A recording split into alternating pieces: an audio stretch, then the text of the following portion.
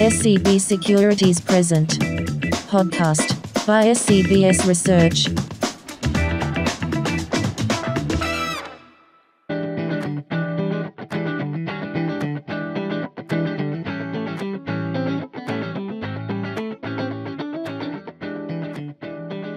สวัสดีครับ นักลงทุนทุกท่าน ขอต้อนรับเข้าสู่รายการ Bull or Bear Next Week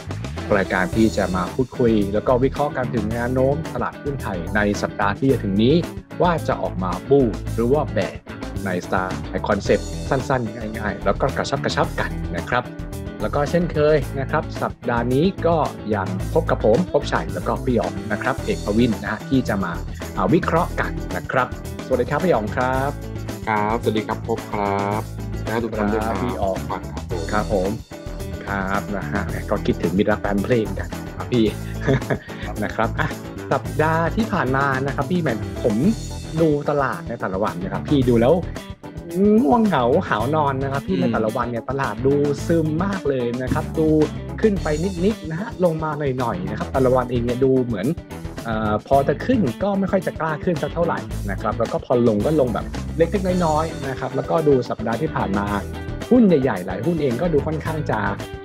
นิ่งๆ ทรงๆ กันไปนะครับพี่อย่างด้านของกลุ่มพลังงานเองเนี่ยก็เงียบๆไปนะครับไม่ได้ขยับอะไรมากนะครับกลุ่มแบงก์ก็ซึมๆนะครับกลุ่มอ่า ICT ก็ดูเงียบๆไปนะครับผมถ้าอย่างนี้เนี่ยครับมองว่าตลาดหุ้นไทยเรานะครับในสัปดาห์หน้าเนี่ยจะจะยังมีลักษณะยังแกว่งๆซึมๆอยู่กันต่อไปหรือเปล่าหรือว่าอะหรือว่าแบบผ่านช่วงประกาศงบไปแล้ว มันจะมีอะไรที่ที่จะเป็นตัวขับเคลื่อนตลาดได้ครับพี่ อืมครับ ก็ เอ่อคือถ้าพี่มองนะ สัปดาห์หน้าครัเนี่ยบถ้าถ้ามันขึ้นเนี่ยมันมันน่าจะต้องขึ้นแล้วนะเออคืออมคืออย่างสัปดาห์ที่ผ่านมาเรามองบูใช่ไหมแต่ก็การฟื้นตัวมัน หลังจากมันขึ้นจากวันศุกร์สัปดาห์ก่อนหน้า แล้วสัปดาห์ที่ผ่านมาเนี่ยคือแบบแทบแบบทรงๆทั้งอาทิตย์เลยอะอาจจะเป็นโอเคอะเอ่อให้เป็นการแบบพักตัวชะลอตัวหน่อยอ่างบออกมาอาจจะมีแบบเอ่อ ต่ำกว่าคาดดีกว่าคาด หรือว่าแบบ sell on fact อะไรบ้างอย่างเงี้ยนะครับ ซึ่งถ้าดูเนี่ยคือสัปดาห์หน้าเนี่ยงบมันก็จะจะโอเคเบาลงละ คือส่วนใหญ่เนี่ยใน Q3 มันก็เป็น bottom โดยเฉพาะพวกแบบเอ่อรีโอเพนนะนะเออแล้วก็แบบภาพจะฟื้นตัวในไตรมาสี่หรือในปีหน้านะครับ เช่นเดียวกับแบงก์เอง ก็ดูว่าค่าเงินบาทเนี่ยก็มีแนวโน้มว่า คาดว่าน่าจะยังแข็งค่าได้อยู่นะเออคือหลังจากมันหลุดสามสามมาเนี่ย พี่มองว่ามันจะลงไปสักประมาณสามสองจุดสามสามสองจุดสี่ะนะครับ ดูแล้วก็ยังยังโมเมนตัมแข็งค่า เพราะฉะนั้นไอตัวฟันโฟอะน่าจะมีส่วนหนึ่งนะ ที่แบบไหลเข้ามาก็ยังหวังอยู่ เพราะฉะนั้นก็เลยขอขอบูต่อนะเออขอบูต่อว่าอืมอ่ายังมองแบบตลาดมันก็ยังแกว่งในกรอบนะ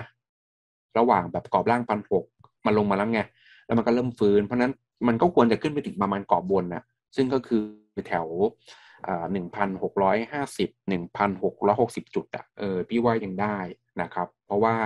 อย่างแบบเรื่องแบบอาทางจีนอย่างเงี้ยก็ภาคอสังหาก็เหมือนแบบดูดูผ่อนคลายขึ้นนะจากเอลแกมมันก็สามารถชำระดอกเบี้ยหุ้นกู้ได้ แล้วก็ทางการจีนก็เหมือนจะผ่อนปลนอ่อภาคธุรกิจเนี้ยให้แบบลดความเข้มงวดลงนะครับ หรือว่า จะเป็นอย่างตัวเงินเฟ้อที่รายงานไปก็โอเคกระทบตลาดให้ฝั่งสหรัฐมันเป็นภาพของการเทคโปรฟิตแต่ถ้ายึดตามธนาคารกลางต่างๆ หรือเฟดเองที่บอกว่าเงินเฟ้อมันเร่งตัวชั่วคราวอะนะครับ แล้วก็ยังไม่รีบขึ้นดอกเบี้ยเนี่ยก็ไม่น่ามองเป็นปัจจัยลบขนาดนั้นนะนะครับ ส่วนบ้านเราเนี่ยก็ติดตาม GDP เนาะในวันวันวันจันทร์นะจะรายงานน่าจะเป็นก่อนเปิดตลาดด้วยซ้ำไปนะ โอเค มันก็อืมชะลอตัวแต่ดูตลาดน่าจะรู้แล้วนะเออ น่าจะมองแบบไปภาพข้างหน้ามากกว่าว่าอ่าปีหน้าฟื้นอย่างเงี้ยนะครับอืมก็น่าจะไม่ได้มีผลอะไรมากขนาดนั้นนะตลาดน่าจะรู้แล้วเพราะฉะนั้นพี่ก็เลยเอ่อก็ฟันธงแล้วกันว่าแบบยังบูอยู่ แล้วก็มีโอกาสอืมขึ้นไปหากรอบบนอะหนึ่งหกห้าศูนย์ครับหนึ่งหกศูนย์เนี่ยยังได้อยู่แล้วกรอบล่างก็สักประมาณหนึ่งหกสองศูนย์เนี่ยพี่ว่ายังเป็นจุดรับได้อยู่ครับผม ครับ อืมนะฮะก็มองว่าสัปดาห์หน้าเองอยู่แล้ว ก็คือพวกปัจจัยกดดันมันน่าจะผ่านไปแล้วใช่ไหมครับที่เรื่องต่างๆ ที่มันดูไม่ค่อยจะเคลียร์ไม่ค่อยจะชัดสักเท่าไหร่มันก็น่าจะผ่านไปแล้วนะฮะแล้วก็น่าจะได้ได้เวลาสักทีในการในการปรับขึ้นตรงนี้นะครับผมแล้วก็แต่ก็เห็นว่าทางด้านของของเรื่องของกรงงเองเนี่ยนะฮะที่ที่เพิ่งประชุมผ่านไปเขาก็มองเศรษฐกิจเราก็ดีขึ้นนะครับพี่ดูแล้ว ก็ก็ก็น่าจะเป็นอะไรที่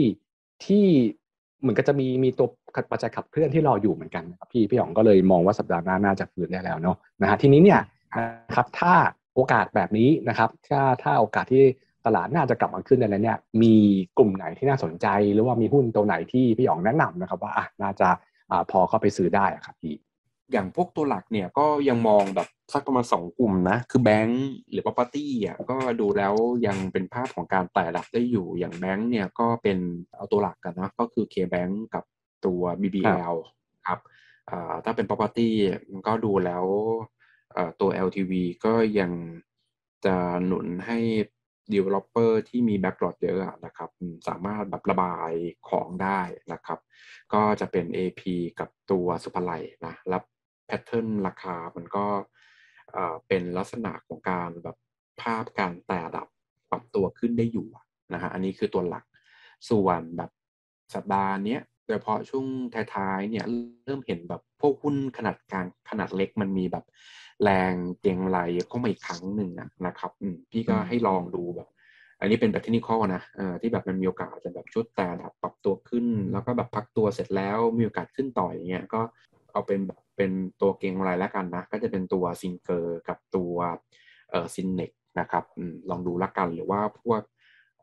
โลจิสติกก็ดูใช้ได้นะเอ่อ JWD หรือว่าตัวแบบ WICE นะครับ อันนี้ก็ดูแล้วยังยังน่าจะได้อยู่เป็นภาพของการแต่ระดับปรับตัวขึ้นครับผมก็จะเป็นหุ้นต่างๆที่ที่ได้กล่าวไปประมาณนี้ครับ อืมครับผมแล้วแล้ว แล้วยังมีแบบตัวไหนกลุ่มไหนที่ยังจะต้องระมัดระวังอยู่ไหมครับพี่อย่างอย่างข่าวก่อนหน้าพี่อ๋องก็แบบลองให้ระมัดระวังเรื่องของพวกหุ้นพลังงานอะไรพวกนี้ใช่ไหมฮะว่าทางด้าของน้ำมันอาจอาจจะมีโดนเทลงมานะครับหรือว่าอย่างทางด้านของกลุ่มชิ้นส่วนอิเล็กทรอนิกส์ตรงนี้นะครับที่ขึ้นไปเยอะตรงนี้เนี่ยสองกลุ่มนี้ยังยังจะต้องเป็นกลุ่มที่ต้องระวังต่อไหมครับพี่ก็เหมือนเดิมคือพี่ว่าเหมือนแบบมันเริ่มมีแรงขายปรับพอร์ตพวกแบบ น้ำมันลงกันปิดตัวนะเออแต่ที่แบบมันสักระยะหนึ่งเพราะฉะนั้นอาจจะถ้าเป็นตัวหลักนำตลาดรอบเนี้ยก็น่าจะเป็นแบงก์ก็เป็นภาคของเทคพวกพลังงานแล้วมาเข้าแบงก์นะครับ หรือว่าเอสก็ดูแล้วยังมองเป็นแบบภาพของการ take profit เช่นเดียวกัน หรือว่าคือจะซื้อมันดูอันตรายแล้วเพราะว่าเออมันขึ้นมาเยอะ upside มันดูไม่ค่อยมีละบวกกับตัวผลการดำเนินงานอะ เดี๋ยวแบบปีหน้ามันมันจะเริ่มแบบชะลอตัวไงเพราะ ปีนี้แบบฐานมันสูงด้วย แล้วก็ไอตัว supply ของเซมิคอนดักเตอร์มันก็น่าจะมีกลับเข้ามาละนะครับ เพราะว่าที่ผ่านมามันได้ประโยชน์จากตัว supply ที่ขาดแคลนไงแต่ว่าโอเค เมื่อแบบ supply ขาดแคลน demand เยอะใช่ไหมมันก็ทั่วไปอะมันก็ต้องกลับมาสู่จุดสมดุลก็คือแบบคนก็ผลิตเยอะขึ้นอย่างเงี้ยทำให้ราคามันลงหรือว่าแบบ supply มันเริ่มกลับมากลับมาเติมเต็มละเพราะฉะนั้นโอกาสที่ earning ในปีหน้าเนี่ยมันจะ มันจะแบบเป็นชะลอตัวบวกฐานสูงด้วยราคาก็มีเยอะก็เลยแนะนำเป็นแบบยังคงเป็นภาพของการ take profit ดีกว่าครับผมซื้อแล้วอาจจะแบบดูแลอัพไซด์ไม่ค่อยมีหรือว่าเสี่ยงไปแต้มต่อไม่มีละอืมนะครับผมนะฮะก็สรุปนะครับว่าสัปดาห์หน้าพี่หยอกว่ามองว่าก็น่าจะยังบูต่อนะครับผมน่าจะถือโอกาสขึ้นได้แล้วใช่ไหมครับพี่ก็สัปดาห์ที่ผ่านมาก็ง่วงหลับไปนานพอสมควรแล้วนะครับ สัปดาห์ ใหม่นี้ก็น่าจะตื่นขึ้นมาได้เลยแล้วนะครับสำหรับด้านของกระทิงนะที่ที่เราก็หวังเอาไว้นะครับ ว่าจะตื่นมาวิ่งสักทีนะครับ ผมก็มองทางด้านของกรอบล่างก็คือแถวๆสักพันหกร้อยี่สิบตรงแถวนี้นะครับน่าจะเป็นจุดที่รองรับได้นะครับ แล้วก็อนาต้านนะพี่หยองเขามองไว้ที่บริเวณสักพันหกร้อยห้าสิบแล้วก็พันหกร้อยหกสิบจุดนะครับ น่าจะเป็นจุดที่น่าจะขึ้นไปทดสอบได้นะครับ ผมโดยหุ้นแนะนำนะครับในสัปดาห์ ที่จะถึงนี้นะครับก็เป็นตัวใหญ่นะซื้อลงทุนก็ยังคงมองทางด้านของหุ้นในกลุ่มธนาคารอยู่นะครับก็ตัวเด่นเป็นทางด้านของตัว K-Bank แล้วก็ BBL นะครับแล้วก็กลุ่ม property นะครับก็ยังชอบอยู่นะฮะทั้งในส่วนของศุภาลัยแล้วก็ AP ครับส่วนหุ้นขนาดไซส์กลางไซส์เล็กนะฮะอันนี้ก็เริ่มที่จะเห็นวิ่งวิ่งมาตั้งแต่ตอนช่วงของปลายสัปดาห์ที่แล้วนะครับ ก็ พี่ยองก็ชอบทางด้านของตัว SINGER นะฮะแล้วก็ทางด้านของตัว Synnex ด้วยนะครับแล้วก็รวมถึงหุ้นทางด้านของโลจิสติกอย่างทางด้านของ JWD นะครับแล้วก็อย่างทางด้านของตัว WICE นั่นเองนะครับผมนะก็ชอบตัวไหนนะครับชอบสไตล์แบบไหนก็นักลงทุนก็ลองลองนะครับไปติดตามกันดูนะครับผมแล้วเราจะคอยอัปเดตนะฮะเรื่องของ หุ้นที่น่าสนใจ แล้วก็หุ้นกลุ่มไหนที่ควรจะหลีกเลี่ยงนะครับในทุกๆ สัปดาห์นะครับก็